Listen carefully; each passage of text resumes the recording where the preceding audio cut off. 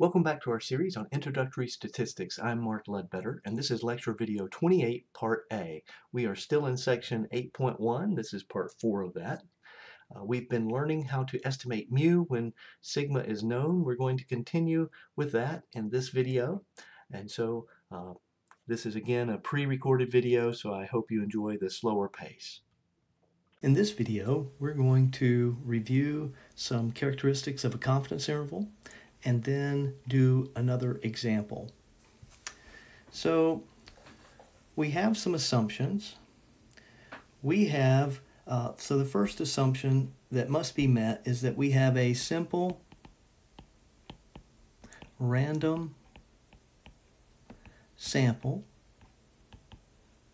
of size n from a population of x values. So x is whatever our population uh, is, what we're trying to measure. Okay? So for the type of confidence interval we're doing now, which this is uh, confidence intervals for the mean mu when sigma is known. Sigma is the population standard deviation mu is the population mean. So it's these are true values for the whole population. Usually we don't know these. Okay? So when the population's an infinite size or practically infinite, we rarely know the actual values of these parameters.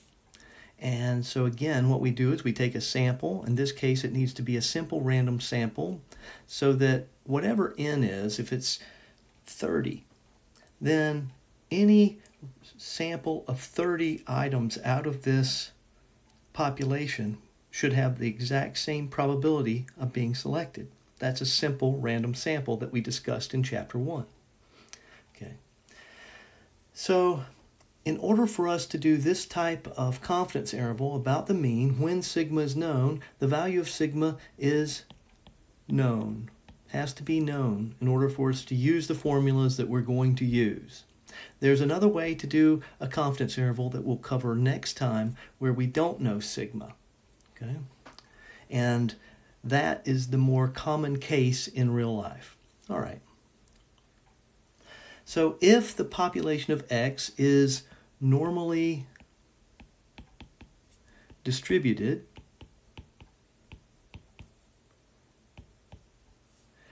then we can use any value of n with this formulas with the formulas that we're going to cover okay? Now from the central limit theorem if the population of x is either unknown or it is any other distribution, then we need a minimum sample size of 30. So n has to be greater than or equal to 30. So if it doesn't say what type of distribution, or if um, we have uh, some other distribution, we could say it's uniform, we could say it's exponential, we could say it's anything, uh, we have to have at least 30 for our sample size. So in this course, we're going to use 30 as our minimum. Now, in actual practice, if you have a highly skewed distribution and it's not mound-shaped, then uh, we might need a sample size of at least 50 or even 100. But for this course, as long as we have 30 or greater, we're going to use uh, these formulas. Okay? So last time we did not talk about the margin of error. The margin of error is usually unknown. Um, so it is the difference between x bar, our sample mean.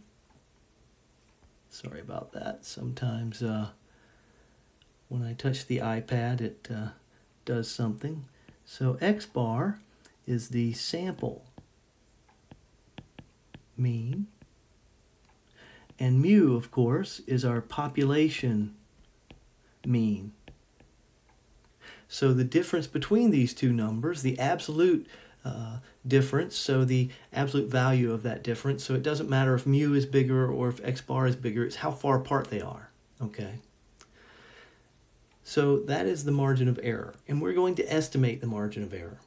Now a critical value is something else that we need, and for a, a confidence interval with a confidence level C, our book uses C for confidence level, and I use capital CI for confidence interval, okay?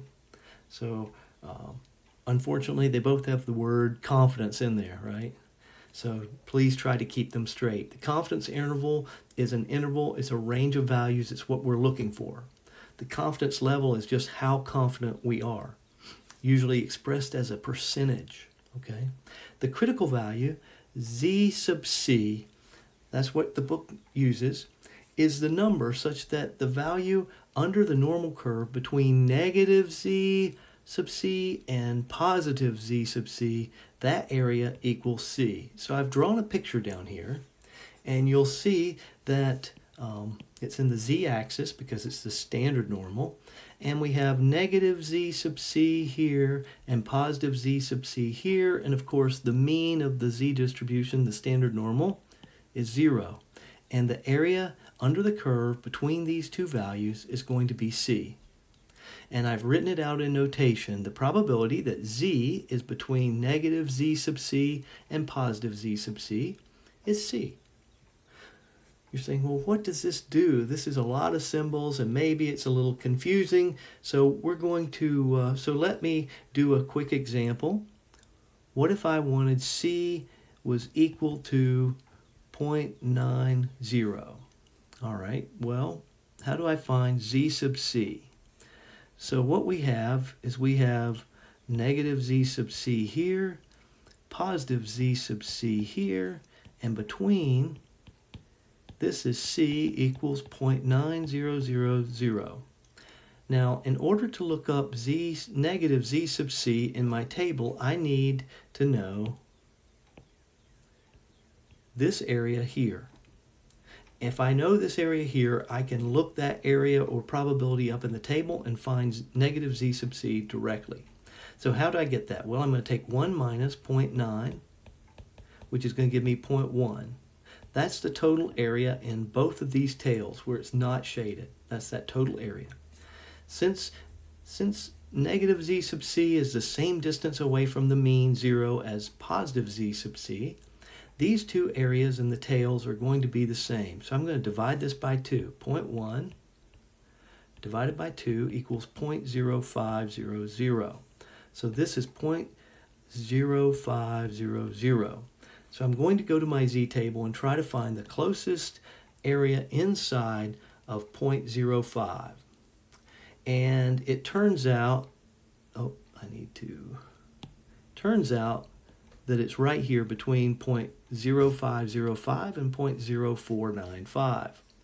I follow this area arrow down to the bottom of the table and it tells me that for point an area of 0.05 that the z-score is negative 1.645. So this is negative, oops, negative 1.645 and that means that this z is positive 1.645. Okay, so that's how we find a critical value.